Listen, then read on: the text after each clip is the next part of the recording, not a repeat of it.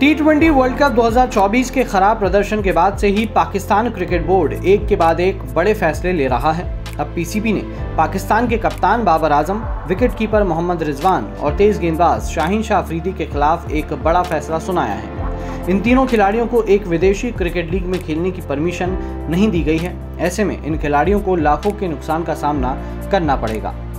Pakistan cricket board ने बाबर आज़म, मोहम्मद रिजवान और शाहीन शाह अफरीदी को global T twenty Canada league में हिस्सा लेने के लिए एनओसी नहीं दी है। Global T twenty Canada league 25 जुलाई से 11 अगस्त तक आयोजित होने वाली है। लीग का शेड्यूल पाकिस्तान के किसी सीरीज़ या मैच से नहीं टकरा रहा है। इसके बावजूद खिलाड़ियों को एनओसी नहीं मिलेगी। इससे पहले नसीम शाह को भी द हंड्रेड में भाग लेने के लिए एनओसी नहीं दी गई थी।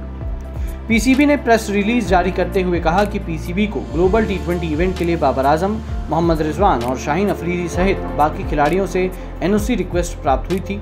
अगस्त 2024 से मार्च 2025 के बीच पाकिस्तान के व्यस्त क्रिकेट कैलेंडर को ध्यान में रखते हुए, जिसमें नौ ICC World Test Championship match और अगले साल की आईसीसी चैंपियंस ट्रॉफी 2025 शामिल है और तीन खिलाड़ियों के साथ साथ राष्ट्रीय चयन समिति के साथ परामर्श के बाद उनकी रिक्वेस्ट को अस्वीकार करने का फैसला लिया है। ये तीनों सभी फॉर्मेट के क्रिकेटर हैं और अगले आठ महीनों में उनकी सेवाओं की आवश्यकता होने की उम्मीद है, जिसके दौरान पाकिस्तान नौ टेस्ट, चौदह वनडे और नौ टी मैच खेलेगा। दूसरी ओर आसिफ अली, इफ्तिखार अहमद, मोहम्मद आमिर और मोहम्मद नवाज़ को एनओसी दे दी गई है। पीसीबी ने कहा कि पीसीबी ने आसिफ अली, इफ्तिखार अहमद, मोहम्मद आमिर और मोहम्मद नवाज़ के लिए एनओसी मंजूर कर ली है। चारों खिलाड़ी मुख्य रूप से सफ़ेद गेंद वाले क्रिकेटर हैं, जबकि इफ्तिखार और नवाज़ केंद्रीय अनुबंधित खिलाड़ी हैं। अब कहीं ना कहीं पीसीबी ने यह डिसीज़न पाकिस्तान के आईसीसी टूर्नामेंट्स में बुरे प्रदर्शन को लेकर भी किया है, क्योंकि पाकिस्तान पिछले साल होने वाले आईसीसी वर्ल्ड कप 2023 में भी आगे क्वालिफाई नहीं कर पाया था। वहीं टी वर्ल्ड कप 2024 में भी पाकिस्तान सुपर आठ की रेस तक से बाहर हो गया था।